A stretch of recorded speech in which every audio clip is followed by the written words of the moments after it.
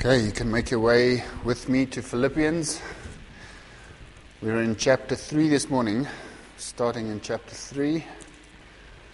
And we'll look at the first 11 verses. We are only going to cover the first three verses in the sermon, and then we'll cover verses 4 down to 11, uh, Lord willing, next Sunday after, in two weeks. Okay? Um, so, but let me read that for you. Um, before we do that, I just want to remind you of what we've covered so far in, in, in this book. Paul has now covered with us how to pray effectively. We started with that in chapter 3, 1, verse 3 to 11. Then we looked extensively at the Christian and trials, how, especially how we should behave in trials. And then in chapter 2, the major part of chapter 2 dealt with how to live worthy of the gospel. You remember? How we, as a church, not just as individuals, but as a church, can live worthy of the gospel. And then Paul gave us two examples. Two men, Timothy and Epaphroditus, two models of what it looks like to regard the interests of others as more important than your own. And now we turn in chapter 3, verse 1, down to chapter 4, verse 1. It's a, a big section in this, in this letter is going to deal with convictions that every Christian must hold. Convictions that every Christian must hold dear to themselves. And these convictions, as you will see, has a direct bearing on your salvation. And so, this first uh, conviction that we're looking at now, verses 1 down to 11 in chapter 3, is the following Christ's accomplishments is what makes us God's children. Okay? That conviction is the heart of your salvation, as you will see this morning. Christ's accomplishments is what makes you God's child. Let me read for you, and then we'll pray together, and then we'll fall away. Finally, my brethren, in verse chapter 3, verse 1. Finally, my brethren, rejoice in the Lord. To write the same things again is no trouble for me, and it is a safeguard for you. Beware of the dogs. Beware of the evil workers. Beware of the false circumcision, because we are the true circumcision, who worship in the Spirit of God and glory in Christ Jesus and put no confidence in the flesh. Although I myself might have confidence even in the flesh. If anyone else has a mind to put confidence in the flesh, I far more circumcised the eighth day, of the nation of Israel, of the tribe of Benjamin, a Hebrew of Hebrews. As to the law, a Pharisee. As to zeal, a persecutor of the church. As to the righteousness which is in the law, found blameless. But whatever things were gained to me, those things I have counted as loss for the sake of Christ. More than that, I count all things to be loss in view of the surpassing value of knowing Christ Jesus my Lord, for whom I have suffered the loss of all things and count them but rubbish, so that I may gain Christ and may be found in him, not having a righteousness of my own derived from the law, but that which is through faith in Christ the righteousness which comes from God on the basis of faith, that I may know him and the power of his resurrection and the fellowship of his sufferings, being conformed to his death, in order that I may attain to the righteousness from the, uh, excuse me, to the resurrection from the dead. Father, as we go into this section this morning, we thank you again for your word. Lord, we thank you for the Holy Spirit, whom you have sent to dwell in our hearts, through whom we have received newness of life, who made us alive, who gives us insight, and understanding and grace. And Lord, we rely upon you and you only. We rely upon what you give us, Lord, because without you we can do nothing. And so I pray this morning that you will help us deepen our convictions, the conviction of the truths that your word gives us. Helps, help us, Lord, that these convictions will be the bedrock of our lives and that through them they will produce in us a love for you and an obedience to you that is unparalleled in our lives for anything else. Please, Lord, we, we commit ourselves into your hands for this work. Amen. To guide us then in shaping our convictions this morning, I'm going to give you three um, points that we're going to cover. Paul provides us with a command in verses 1 and 2. Then he does, gives us the reason for the command in verse 3. And then in verse 4 to 11, he gives us an example of someone who followed the command. Okay, so we're going to do verses 1 down to 3 this morning. We're going to look at the command and the reason for the command. And again, the goal here is to shape your convictions and help you live a godly life. Now, let's start with the command in verse 1. Finally, my brethren, rejoice in the Lord. To write the same things again is no trouble to me, and it is a safeguard for you. Verse 2 Beware of the dogs, beware of the evil workers, beware of the false circumcision. This command takes two parts, as you can see. Part A is the positive command, what you should be doing, rejoice in the Lord. And the second part of the command is what you should, well, also do, but it's kind of like a negative, right? Beware of, watch out for these guys. Beware of the dogs, he says. Beware of the evil workers. Beware of the false circumcision. Now, the question we want to ask here is who are these evil workers? Who are these dogs? Who are these false circumcision? Well, a distinguishing mark of this group is that they do something that Paul does not want us to do. In verse 4, you read, excuse me, in verse 3, you read, he says, We are the true circumcision as compared to the false circumcision of verse 3, right?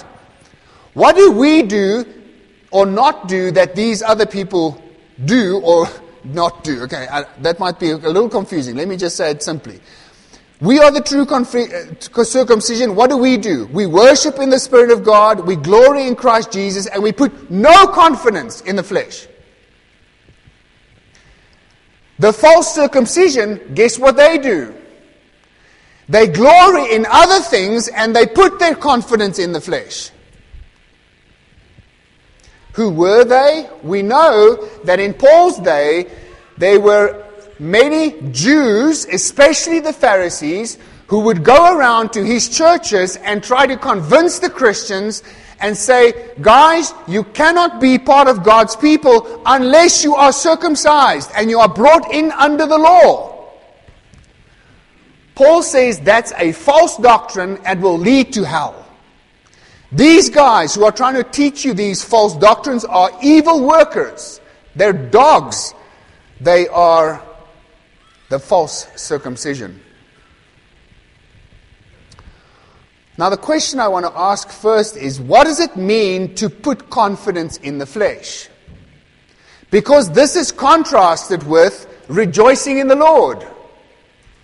What does it mean to put your confidence in the flesh? Look at verse 4 with me. I'm going to draw out what it means from what Paul says in verse 4 down to verse 6. He says of himself, although I might have confidence even in the flesh, I have reason to put confidence. If anyone has reason to put confidence in the flesh, it's me. That's Paul's words, right? If anyone has a, else has a mind to put confidence in the flesh, I have far more reason to put confidence in the flesh. What are my reasons that I could put confidence in the flesh? I'm circumcised the eighth day. I'm from the nation of Israel. I'm from the tribe of Benjamin. I'm a Hebrew from Hebrews. I'm pure stock, guys. Okay? This is like, you know, if I could put it into modern language, my daddy was a preacher, his daddy was a preacher, and his daddy started the whole denomination. Okay? Pure stock. That's Paul. I have reason to put confidence in my flesh because of my heritage. Look at my background, my great daddy and granddaddy and granddaddy, all the way back to wherever, you know. He traces his lineage right back to Abraham. You couldn't get better than that. Secondly, he says, As to the law, I was a Pharisee. I was of the strictest, strictest religious uh, section of the Jewish nation. As to zeal for the law, I persecuted the church because I believed they were wrong and the law was right. As to the righteousness which is in the law, I was found blameless. When I was a Pharisee, Paul would say, people would look at my life and they would not be able to find fault with me. So not only did he have confidence in his heritage, he also had deep confidence, he could have deep confidence in his performance. Those are the two things. What it means to put confidence in the flesh is you put your confidence for salvation in your performance or and in your heritage.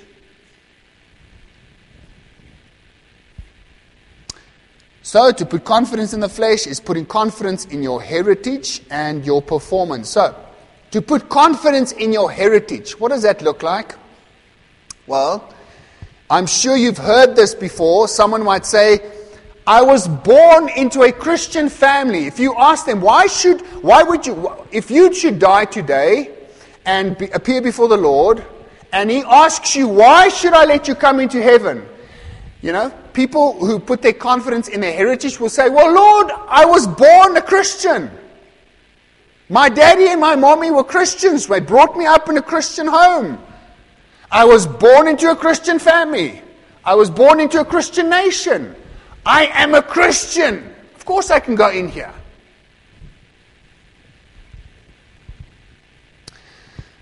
Uh, some of you may be aware of this, but there is a group in the Vaal that I have become aware of called Israel Vision or Hebrew Roots who believe because they have a white skin and they are from the Afrikaner uh, nation, they trace their roots all the way back to Abraham. And because they are connected up to Abraham and they have a white skin and they are Afrikaners, they are the chosen nation. That's putting your trust in your heritage, if anything is. Okay? And so they will teach you that's why you can go to heaven. Jesus asks you, Why should I let you come in? Yeah, I'm from these guys, you know. I got the right stock. By the way, that is wicked, demonic, and evil. And I'm not joking. That doctrine creates a deep rooted pride and arrogance that is so unlike Jesus Christ. It's unbelievable. It is wicked and demonic and evil. So, to put confidence in your heritage is to put confidence that you will go into heaven because of some kind of connection you've got in your line. What does it look like to put confidence in your performance? Well, you're standing before the Lord, the judge, and he says, Why should I let you in? You're going to say, Well, I'm a good person. Man, if I, was good all my life, I never stole, I never killed anyone. You know, yeah, I might have told a little like white lies here and there, but I'm overall generally a good person. I went to church, I gave money to the church, I was even baptized, I read my Bible, I prayed my prayers. What do you put your confidence in? In your performance.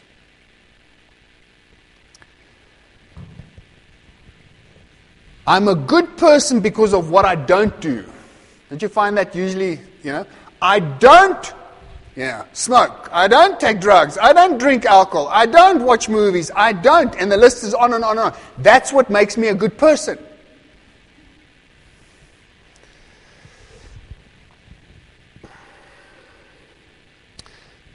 You are aware of the fact that there are doctrines, various doctrines in the church. One of them, I would just say, is called the Arminian doctrine. It teaches you that you can gain your salvation, you can retain your salvation, or you can lose your salvation based on your performance. So, in other words,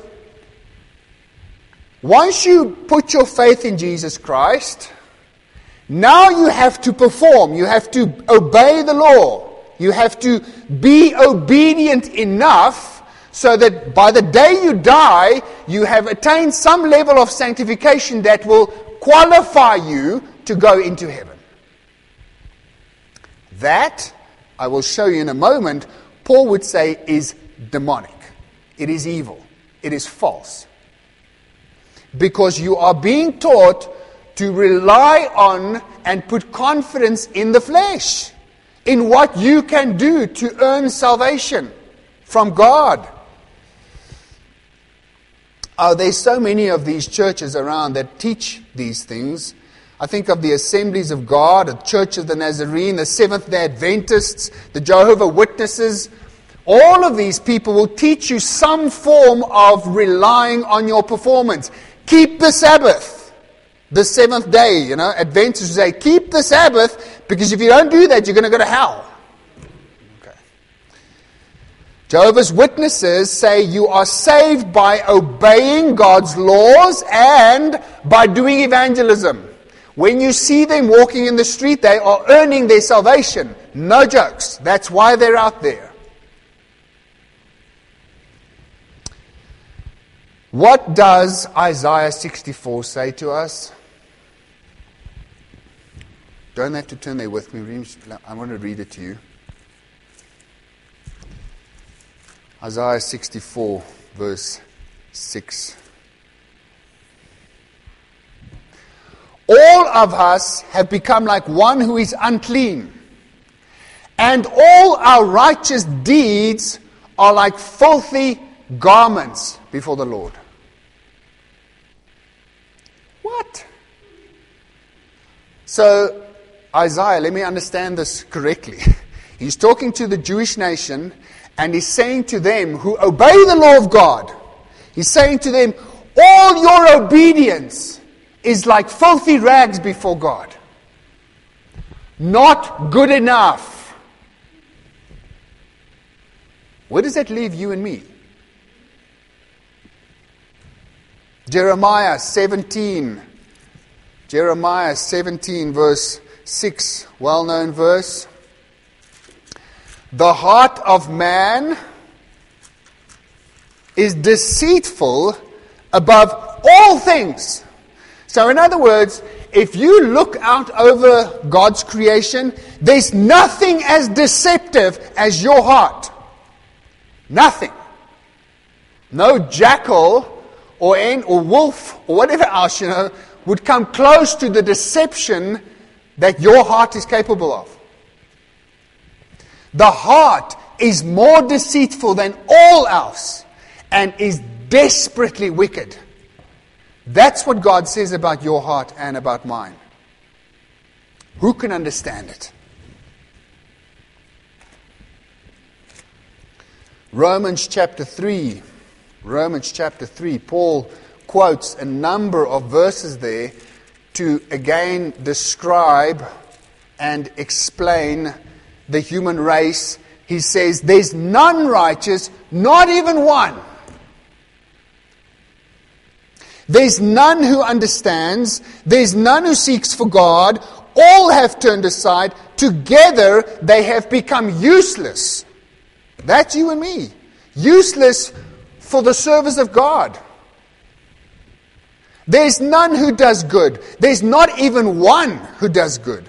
Their throat is an open grave. With their tongues they keep deceiving one another.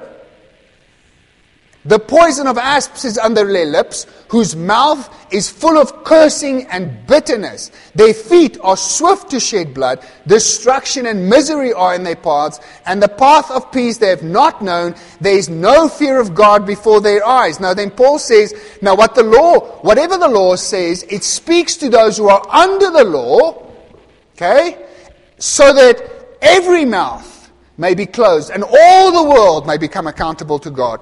Because the whole lot of us are sinful, fallen, depraved. And you want to put confidence in your flesh? You want to put confidence in your performance? You want to put confidence in your heritage that your daddy makes you good enough to go to heaven?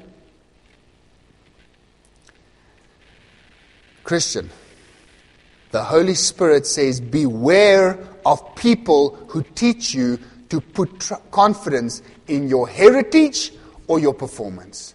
The Holy Spirit says, Beware of people who teach you to put confidence in your heritage or your performance. In fact, I'm going to turn back to Philippians now. Paul felt so strongly about this point that he continually, repeatedly warns the Philippian church. He says to them, To write the same things again is no trouble for me, implying he has said this to them before. Not the first time they hear this from him. I have said to you before, rejoice in the Lord and beware of these people who teach you to put trust in your confidence in your, in your heritage or your performance, in what you can do to earn salvation. Why does he give us such a stern warning? Why will Paul repeatedly say this one thing to us? What will this command safeguard us from? He, in fact, he says, this, to say the same thing to you is not troublesome to me, and it is a safeguard for you. Why? What is it going to safeguard us from? Turn with me to Galatians chapter 5. Galatians chapter 5. Now, Galatians is written, this letter was written to a church that was struggling with exactly this problem. They were turning back. They had started following the Lord, putting their trust in Christ and everything He has accomplished for them, and now beginning to turn back to the law and saying, well, maybe, you know, trusting Christ is not enough. I need to add my performance. I need to put trust in my heritage.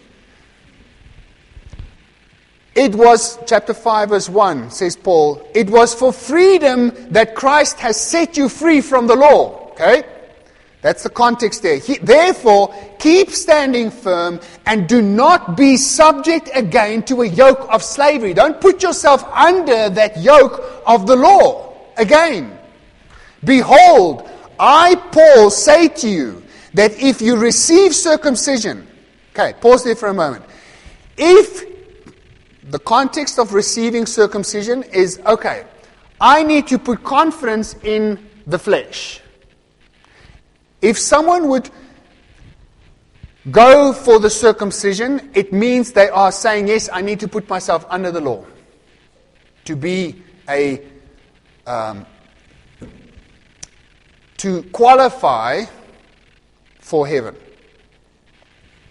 Paul says I say to you, if you do that, Christ will be of no benefit to you. And I testify again to every man who receives circumcision that he is under obligation to keep the entire law. So here's the point. If you want to put trust in your heritage and your performance, then you need to perform. You need to have a 100% mark because that's the standard to go into heaven. Paul says, okay, if you want to go that route, if you want to put that yoke on, you know, it's, it's going to be heavy. And you have a real problem because you are a fallen creature incapable of doing what God requires. God not only wants you to restrain and not do the things that you think you shouldn't do, He's looking at your heart. What are the intentions of your heart? What's your motives? You know, uh, I put the stray jacket on, but yet I hate. I'm bitter. I get, you know, selfish. You can't restrain that, can you? Try and put a restraint on that. God wants a heart that is rejoicing in loving his neighbor or her neighbor, that rejoices in doing what is right. It is the food and the drink of your soul to do what is right. That's what the Holy Spirit accomplishes through the new birth. But I'm jumping ahead of myself here. I testify again to every man who receives circumcision that it is, uh, he is under obligation to keep the whole law. Verse 4 You have been severed from Christ. You who are seeking to be justified by law, you have fallen from grace. Why does he give us such a stern warning? Because that road leads to hell. If you put confidence in your flesh and in your heritage, in your performance. You will stand before the Lord one day and you will be sorely disappointed because your best works cannot earn your way into heaven. It doesn't matter whether you were born into the church, baptized in the church, sat in the church your entire life, but you were never born of the Spirit of God. Your trust and reliance have always been on your performance and your, your heritage. you will not receive what you're hoping to receive. That's why he warns us. Do not put your confidence in the flesh. Rather, do what?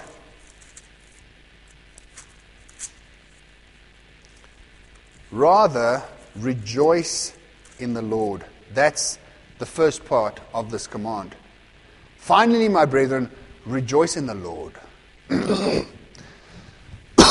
Rather than putting your confidence in your heritage or your performance, the Bible says, rejoice in the Lord. now, the context of, of this command is in contrast to putting your confidence of salvation in your heritage and your performance, he wants you to put your confidence in Jesus Christ and everything he has accomplished. That's what it means to rejoice in the Lord. To rejoice in the Lord means to confidently and completely rely on and celebrate, delight in, and be elated about what the Lord has accomplished for your salvation. That's it. Do you understand that when Jesus Christ hangs on the cross, he fulfills everything that you need? His entire life, his, his, that he lived and the death he died, is enough for you to go to heaven. If you stand before God and your reliance is upon what Jesus Christ has accomplished for you, then you will be able to say, Lord, I rely on what Jesus has done for me. Through his death, I received forgiveness for my sin. Through his death, I received the Holy Spirit, through whom I have been living unto you. Through his life, I was accredited with his righteousness, his goodness was given to me.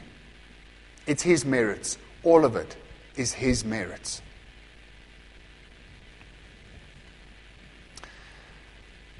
Uh, some of you men will be able to identify with this, but I find it very difficult to cry. okay? So sometimes, you know, you, you, I, you wish, man, I wish I could cry right now. Did you guys get that? You don't? okay. Sorry. Okay, but uh, some of you will, will know that. Why, you know, you're so frustrated and you're so sad and you just can't cry. There's twice in my life that I cried spontaneously, that it was like, you know, oh, that's nice. The first was, the first was, the first was when I held my firstborn son. For some reason, it just happened. You know, like sat there with this little baby and these little baboon hands, and I just went poof, and I couldn't help myself. Oh, you know, it's wonderful. The other time was the first time I sang this song in Christ alone. I stood there, it was in a church in Cape Town. I stood there, and it's the first time I sang this song. And as I sing this song, the truths just keep hitting my heart. Poof, poof, poof. How the Lord has completed everything for me. And I could just I couldn't help it. I was standing there, you know, you know, in the, in the, you know, in the, what in, in public, and I'm crying. Oh, Christ alone. but it was so brilliant. Listen to this. In Christ alone, my hope is found. Not in my heritage, not in what I can do, my performance. In Christ alone, my hope is found. He is my light, my strength, my song. This cornerstone, this solid ground, firm through the fiercest drought and storm. What heights of love, what depths of peace, when fears are stilled, when strivings cease, my comforter, my all in all, here in the love of Christ I stand. In Christ alone, who took on flesh, fullness of God in helpless babe, this gift of love and righteousness, scorned by the ones he came to save, till on the cross, as Jesus died, the wrath of God was satisfied. Done. Tetelestai. There in the ground his body lay, light of the world by darkness slain. Then, bursting forth in glorious day, up from the grave he arose. And as he stands in victory, sin's curse has lost its grip on me. For I am his, and he is mine, bought with the blood of Christ. No guilt in life, no fear in death. This is the power of Christ in me. From life's first cry to the final breath, Jesus commands my destiny. No power of hell, no scheme of man can ever pluck me from his hand till he returns and calls me home. Here, in the power of Christ, I'll stand. That's what it is to rejoice in the Lord. What do we do when we rejoice in someone? We, don't we sing songs about him? I remember when I met Mazel. You know, I rejoiced in her. Like, I literally wrote poems about her. I still got them. Okay? Because I was happy. That's what we do. You rejoice in everything that God, the Lord Jesus Christ, has accomplished for you. That's why we write these songs. We rejoice in everything He has done for us and accomplished for us. And that's why we sing them. So, Christian, The command is to rejoice in the Lord and beware of anyone who wants to deviate you from putting your confidence in Him alone. Who wants you to put your confidence in Him, but also make sure that you perform well enough. No. Look, let me, let me give you a small illustration of this. But here's Paul speaking to the Corinthian church. And in chapter 6, um, excuse me, not chapter 6, chapter 5, he says to them, Don't you know, I'm reading in chapter 6, it is chapter 6, verse 9, don't you know that the righteous, the unrighteous, will not inherit the kingdom of God? Don't be deceived. Neither fornicators, nor idolaters, nor adulterers, nor effeminate, nor homosexuals, nor thieves, nor the covetous nor the drunkards, nor revilers, nor swindlers will inherit the kingdom of God. Okay, that's the truth. If that's the pattern of your life, if you are called, if you are a drunkard by habit, right? If that's the way you live, you will not inherit the kingdom of God, Paul says. So, does that mean my performance is important? Pause for a moment. Verse 11 such were some of you. You used to live that way. But you were washed. You were sanctified. You were justified in the name of the Lord Jesus Christ and in the Spirit of our God. What is he saying to them? Guys, through the death of Christ, you've been born again.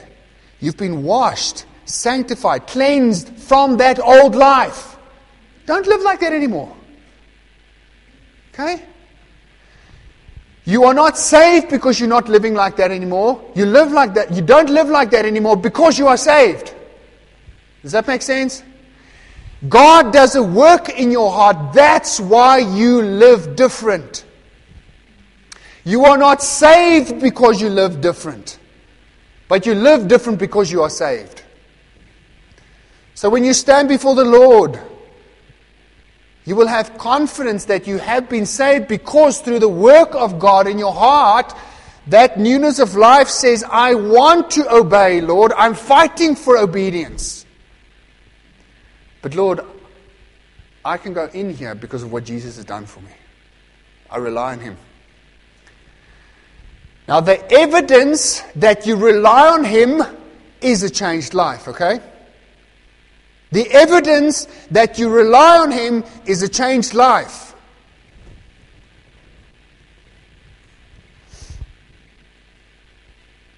So, the, the, the command, Christian, is to rely on Him. That, the truth that helps you obey that command is the conviction I want to lay in your heart this morning. The truth that helps you rejoice in the Lord is very simple. Christ's accomplishments is what makes us children of God. That's it. It's what he accomplished on the cross and through his life that makes you a child of God. Not your performance, nor your, nor your heritage. Now that brings us to the reason for the command. I'm going to try and speed up here, but that re- brings us to the reason for the command. Read with me verse 3 in uh, Philippians.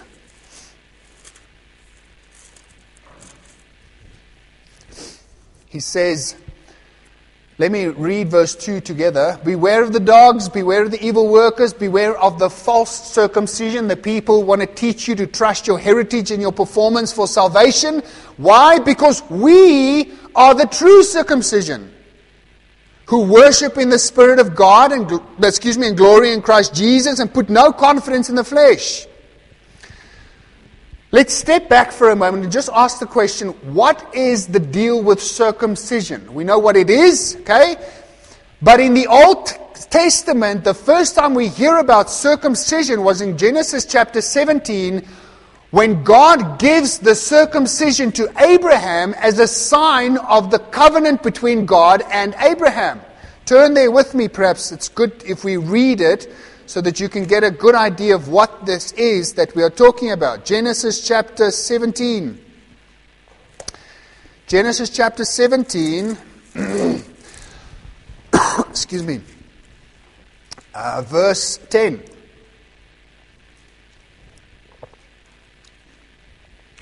This is my covenant, says God to Abraham, which you shall keep between me and you and your descendants after you.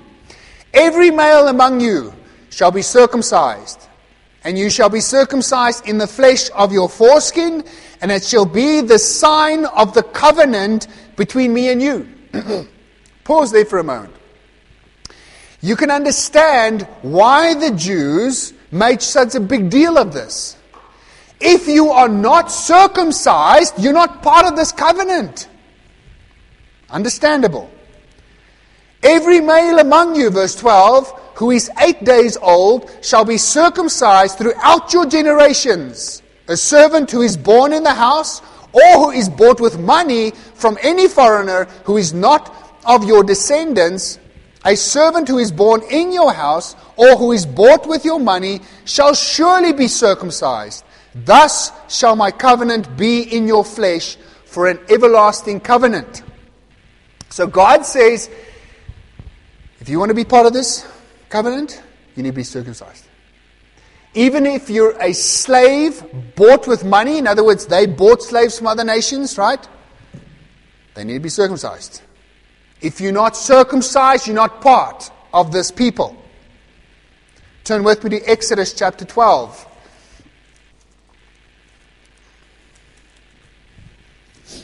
So, first of all, we see that circumcision was a sign of the Abrahamic covenant. It is a sign that God gave Abraham and then commanded that anyone and everyone who wants to be part of the people of God, part of the line of Abraham, the nation that came from his loins, they had to be circumcised.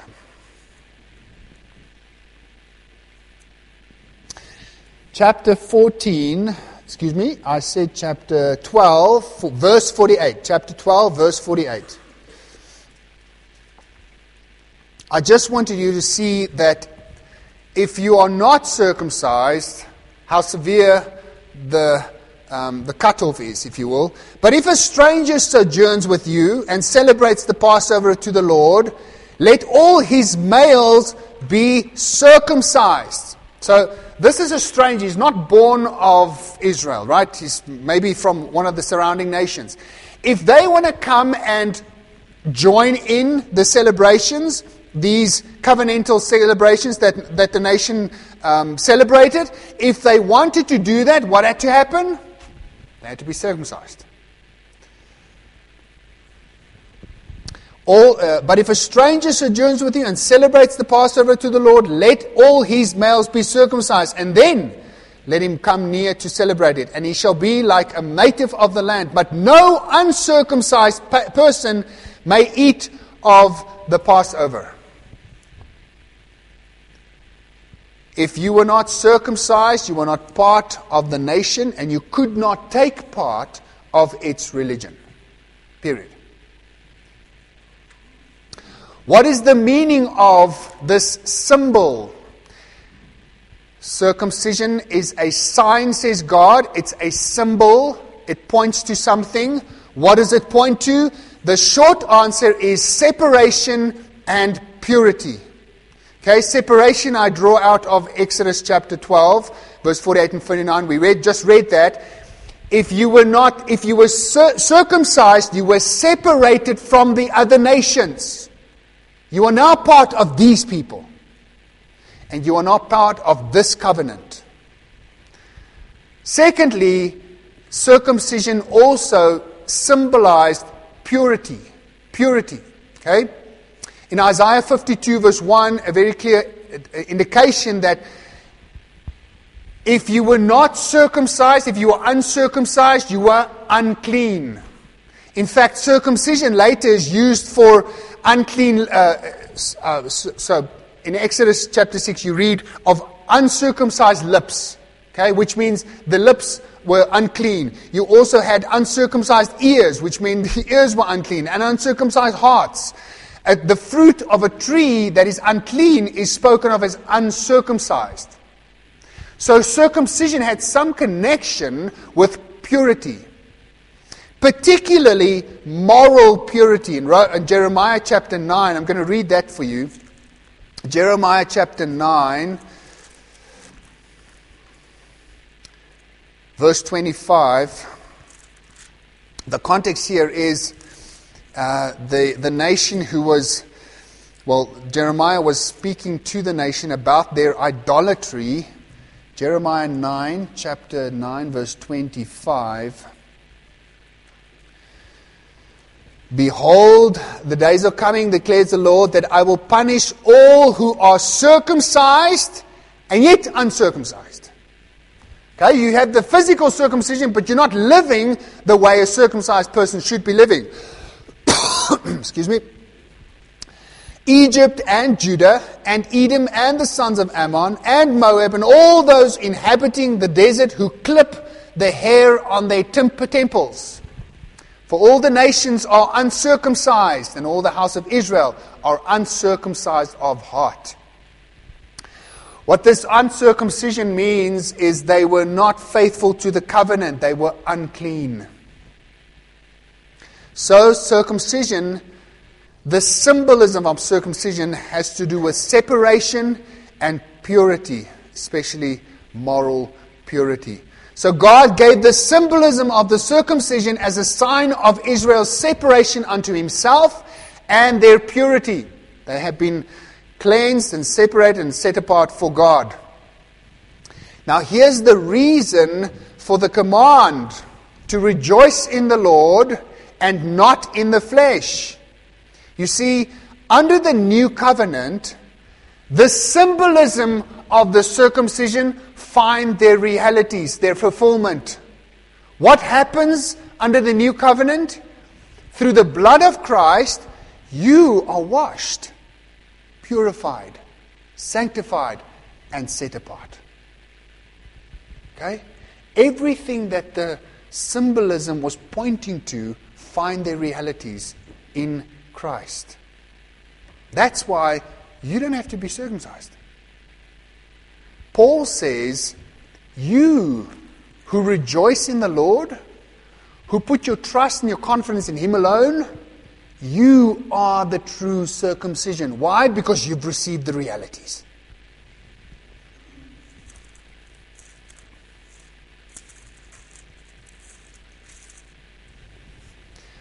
We are the true circumcision who worship in the Spirit of God and glory, rejoice in Christ Jesus, and put no confidence in the flesh. The symbol is not relevant anymore. We don't need circumcision anymore since we have the realities. Colossians chapter 2, verse 11. Colossians chapter 2, verse 11.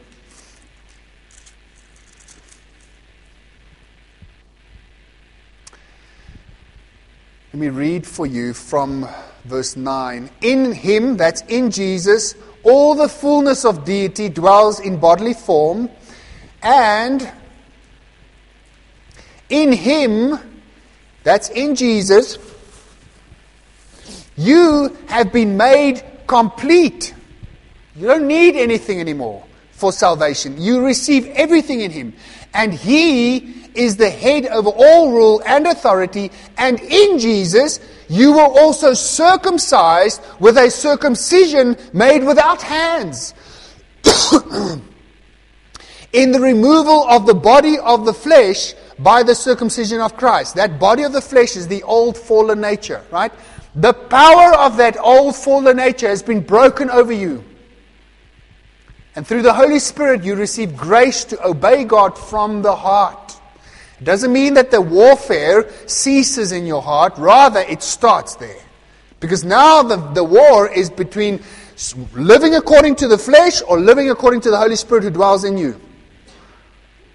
But the point is, from that verse, in Jesus Christ, you have been circumcised with the realities. You have been cleansed, purified, and set apart. You have received everything you need for salvation in Christ. Christian, if you are born of the Spirit of God, if you rejoice in Christ Jesus, in other words, you put your confidence completely on what He has accomplished for you and what He accomplishes in you, you have been separated unto the Lord and purified by the blood of Christ. You are the true circumcision. Here lies the truth that must capture your heart and drive itself in like nails into wood. You are born of the Spirit of God and put no confidence in your heritage or your performance. You who rejoice in the Lord and everything He has accomplished for you, you are children of God you can rest. Christ's accomplishments, it's what makes you a child of God. That's it. Father, please help us identify those places where we put confidence in our heritage or in our flesh. And Heavenly Father, I pray that if there's someone in our midst today who has been living like that, who thinks that they can put confidence in their performance, who thinks they can balance the scales by doing more right than, uh, you know, trying to balance their more right uh, with, with, their, with their wrongs. Oh Lord, I pray that you will convict them of the uselessness and the danger of that road so that they will come to see Christ as the only hope that they have and that they may rejoice in Him alone. And then, Lord, for those of us who know you, who are rejoicing in, in you. I pray that you will help us do so evermore. And Father, we thank you for all that you have accomplished for us. We thank you that we can approach your throne with, with confidence because Christ has done it all. He has died the death we deserved. He has lived the life we cannot live.